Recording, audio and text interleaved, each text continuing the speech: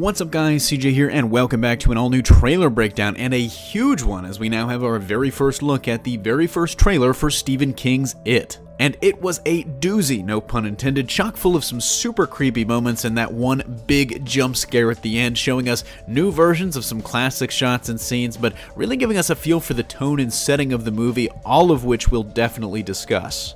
But let's start right at the beginning, shall we? In this first scene, we see Bill Denbrough folding a paper boat for his little brother Georgie, who then goes on to sail it in a rainstorm.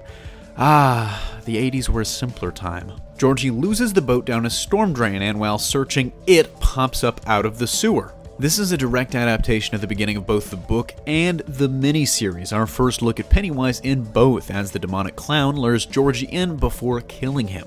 We still don't know how Bill Skarsgård's portrayal of it will compare to the book or Tim Curry's version. I mean, Curry definitely played it with the malevolence, kind of masked in a good dose of creepy humor, but the original book really portrays the demonic clown as a being of pure evil, literally. And that scene will probably be what tells us the most about Skarsgård's performance, whether he'll opt for a little bit of the humor a la Curry or the ruthlessness and mental manipulation of the book. The next scene I want to highlight is really actually just the next couple of shots as we get an introduction to the town of Derry, Maine, as the narration tells us where adults go missing six times above the national average and what happens to kids is worse. From the style of dress, the cars we see throughout, and the date on the missing poster featured in the trailer, it's pretty clear that this movie takes place in the 80s rather than the book and miniseries original starting date of the late 50s and early 60s. And if you remember some of the miniseries of the novel, it reemerges every 30 years or so, so this isn't super shocking, as when the book and miniseries came out, it was the late 80s and early 90s, so 30 years before that would have been the late 50s, early 60s. This also could have some huge implications for the future, as the novel and the miniseries were split into two parts. Part 1 featuring the Losers Club battling it as children, and then 30 years later returning to face him again as adults.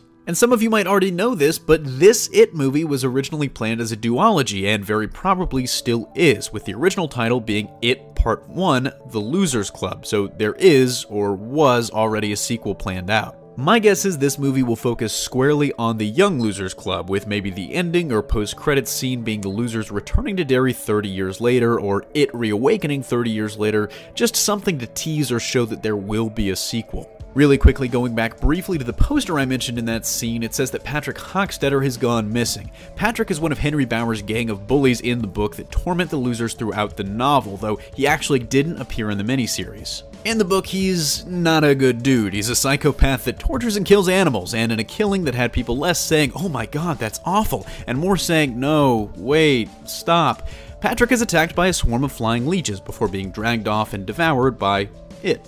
Whether that stays the same or not, Hockstetter's inclusion and the fact that he's missing are just other pieces of evidence that the new film might be a little closer to the book than the miniseries, at least in this regard. The next scene is a big one as it reportedly shows the formation of the Losers Club as they come together and realize they've been seeing the same demonic entity in their own ways. In the book, they all saw what they feared the most, whether it was a werewolf for Richie Tozier, a mummy for Ben Hanscom, Georgie's ghost for Bill, but we'll come back to that later. We don't know if the movie's necessarily necessarily going to include all that shapeshifting, but I definitely hope so.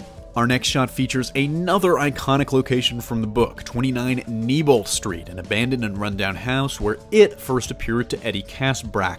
In the trailer, Eddie is noticeably shown looking at something in fear right after the first shot of the house. There's a later scene in the trailer of the kids cornered by it, and also that seems to take place in the abandoned house, just judging by their surroundings in the scene. In the book, after multiple sightings of the clown in and around the house, the kids decide to go in and confront it, but it escapes actually through a, a, toilet bowl. He kind of flushes himself down the toilet, if I remember correctly, which then leads them to explore the sewers, which also leads us to our next shot. This next scene with the slide projector was 100% as creepy as advertised as the thing starts to move on its own, but the scene has even more importance as they seem to work out that it lives in the sewers then, and that presumably all the attacks have happened around an entrance to the sewers. We also get a good look at Pennywise's powers here as he shows off not only the ability to shapeshift, but also to manipulate and possess inanimate objects. But a caveat there, it's kind of unclear if this is actually him possessing the projector or just his powers from the book of manipulating the children's minds using their fears and imagination. This also might be a pretty subtle reference to a scene from the miniseries in which it appears to Bill as Georgie in a photo album Bill's looking at before the album comes to life and begins flipping pages on its own. The rest of the trailer is mostly just action shots, but one in particular I want to point out briefly is the bloody sink scene, one of the most iconic and memorable scenes from the miniseries and the novel. The movie seems to have taken it up a notch because while the miniseries Bloody Sink was literally just a blood bubble, this is a geyser of blood shooting up out of the drain, which is uh, more than a little bit of a manifestation of Beverly's biggest fear. And finally, our last scene. Bill at the bottom of the stairs in a flooded basement while his brother Georgie's ghost torments him, laughing slash screaming that Bill will float too.